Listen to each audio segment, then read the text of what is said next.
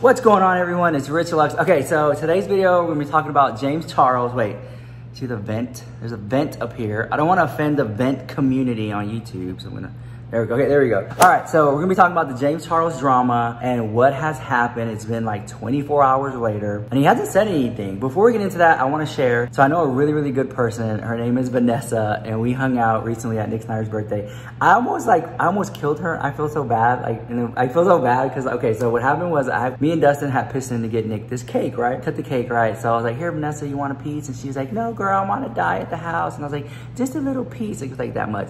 So I like spoon fed her, and then she was like like, I feel weird. And she's like, does it have this in it? And I was like, I don't know. And then she's like, I think it does. So she had like an allergic reaction. And I got like really scared. It's like, I think her tongue had swelled up or something. So she sat down and chilled. Anyways, I had laid on the couch with her just until like she felt good enough. And like finally like felt good enough to go upstairs and lay down. I was like, oh my God. I was like so scared. I, I had no idea she was allergic. You know what I'm saying? Like anyways, I, I just want to say I apologize to you again. But I'm bringing her up because she has uh, like a medical issue and she's like a really, really, really good person. And I want to dedicate this portion of the video to her because I just don't like like to see bad stuff happen to good people. So she needs a few coins to cover her surgery. So I'm gonna put her GoFundMe down below. And I would really, really appreciate if us here at Rich Lux could donate and give her something so she can meet her goal and get her surgery. Put the information down below so you can check it out and read it for yourself. I know a situation like this can always be kind of like, if this is a scam, like no, this is 100% real.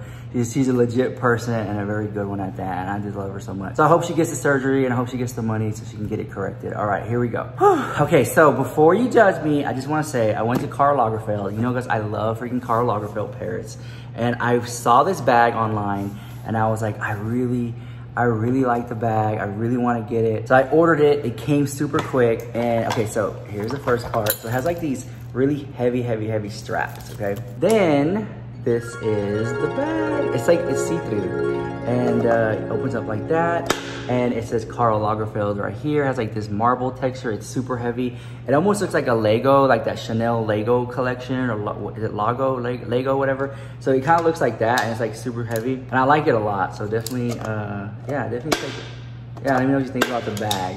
I just want to share with you like my new bag. Okay, so let's talk about James Charles drama. All right, so for those of you who are not caught up on the drama, what happened was he came out with some merch that looked like someone else's merch and then that other person put them on blast and made a whole podcast about it. And then he said that, and James Charles said that he spoke to them privately and the other party saying, well, that's not really what you're saying. So, and he's not really addressing it. So he just kind of moved on. So James Charles is continuing to move on. He posted a picture of Kris Jenner showing off his merch and the flowers that he sent her. There's another photo circulating of Kim Kardashian that he sent her to as well. So it just kind of seems like that. I just feel, I kind of feel like maybe that was some underlying shade that, oh yeah, look, I got to pull these huge celebrities and they're showing my stuff on their Instagram stories and then yours not. So Paige Christie posted this. So why did they not trademark it? If it's their intellectual property, why didn't they do that?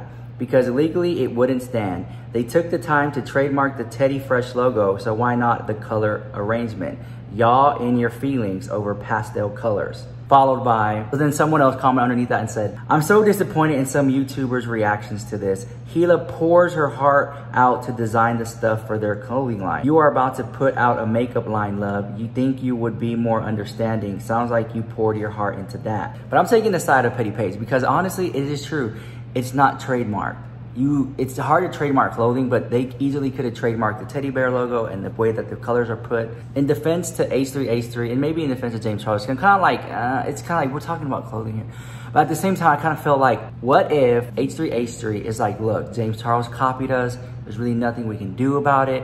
It kind of looks similar, but it's clothing, a lot of clothing, you know, the color blocking's been around forever. Let's try to like, you know, be upset about it so people can, you know, get up, up in arms and it'll bring more attention to our brand. Does that make sense? Like, I kind of feel like maybe that's like a little bit of an aspect, like a tactic to help sell more of their Teddy Fresh clothing line. But at the same time, I feel like James Charles could have handled the situation better if he wanted to. Because James Charles, I feel like has more clout, is the bigger YouTuber, so he can just keep going and not be bothered. But at the same time, he could have been like, oh, hey, I understand that it looks like yours. You know what? This is my whole entire collection. I'm just gonna remove this one. Is that okay if I just remove it? Yeah, but he didn't do that. I mean, that's something he could have done, but he didn't like remove that one thing. He just, he still kept selling it. It's still out there right now. But I just, I just feel like if I was James Charles, I would have been like, look, oh my God, like I don't want any drama with other YouTubers.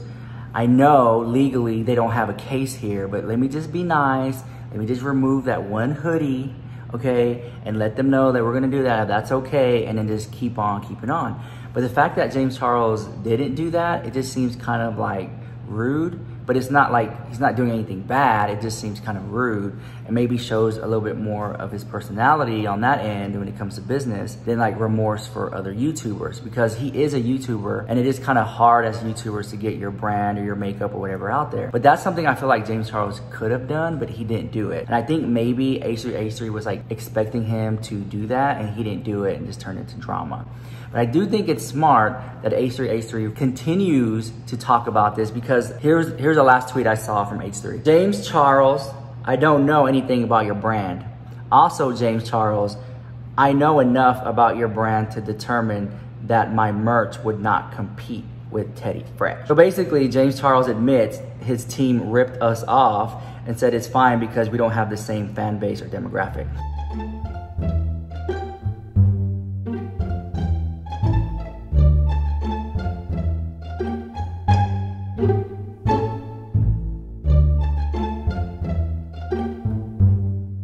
And I kind of feel like they do have the same fan base and demographic. I feel like they kind of like intertwine with each other because I know of H3's podcast and I know of like their YouTube videos. I also know of James Charles. But what I didn't know is I had no idea about this Teddy Fresh brand that H3 H3 had. I just thought they were just like YouTubers with crappy merch.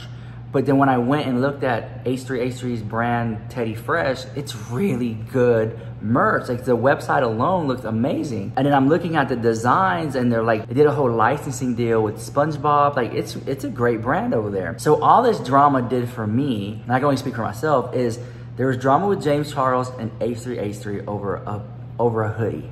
But what it did to me is it made me realize that H3H3 has an amazing clothing line as well. So now I'm over there looking at Teddy Fresh website and I'm like, oh, that shirt looks cool. That hoodie looks cool. I think I might buy some stuff from them. He says, when you DM'd me yesterday, I sent you the original photo that inspired my collection.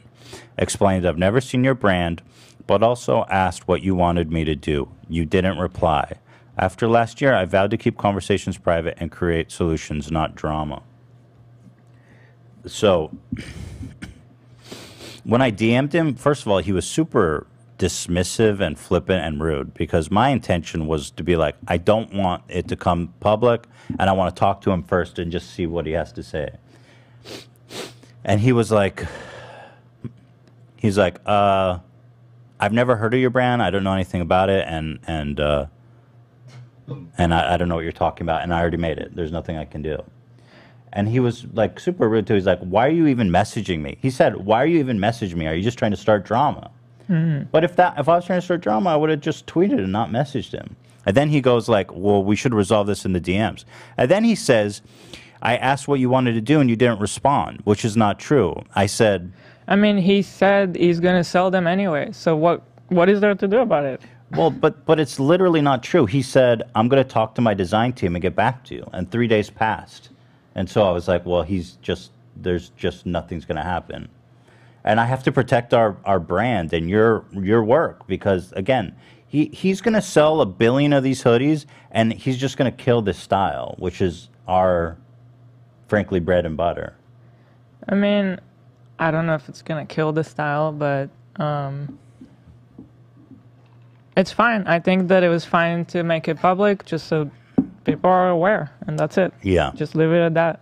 Because there, but again, his you saw the 60 million people are like, yeah, it's identical, and that's the part that kills me, right? So anyway, also he goes, uh, he also messed. This is the part that I really want to share, but you won't let me. In essence, maybe that's what H3 H3 wanted is to get more attention to their brand, and it's working. If this was a strategic thing, if him and his wife sat down was like, "There's nothing we can do," but just maybe act like we're so upset, it'll drive more sales for Teddy Fresh or it will bring more attention to our brand. And I think that's what happened. And I think it's working because now I'm interested in Teddy Fresh. I like the logos. James Charles, on the other hand, has not said anything publicly about it, like on an Instagram story. He hasn't like said anything. I think he's just gonna keep going. He's not bothered. He's gonna keep doing his thing. At this point, James Charles needs to maybe tread a little lightly because if he has that mentality that he's too big to fail, I feel like he will fail. In essence, like maybe get set back and he'll get back on again.